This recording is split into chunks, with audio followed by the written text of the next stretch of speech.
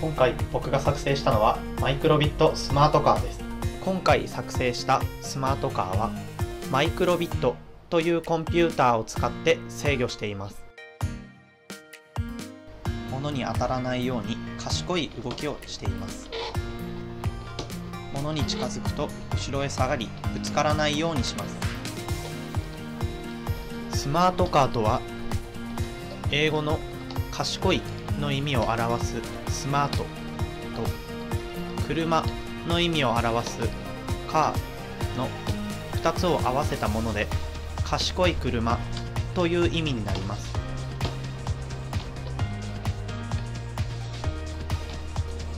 スマートカーは取り付けたセンサーやプログラムによって周りの状態を車自身が判断します。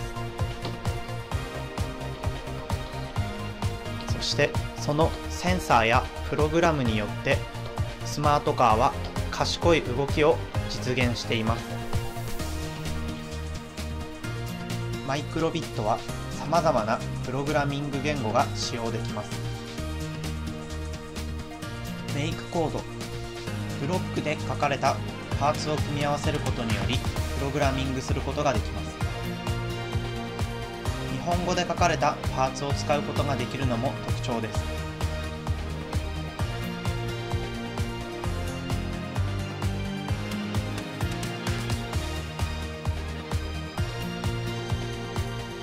JavaScript メイクコードではブロックで作成したプログラムを JavaScript で表示させることができます。JavaScript はウェブサイトなどで実際に使用されています。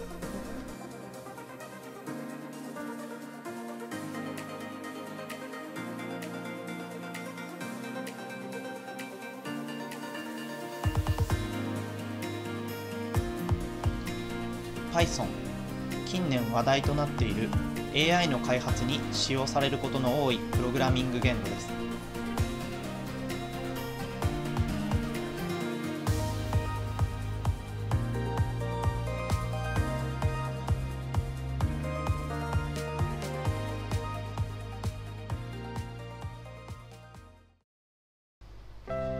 ここからは今回作成したスマートカーで使用したセンサーなどについて。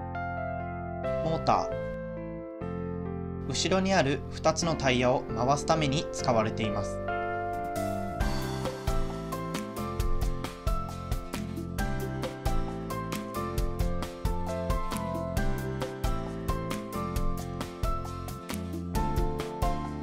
超音波センサー。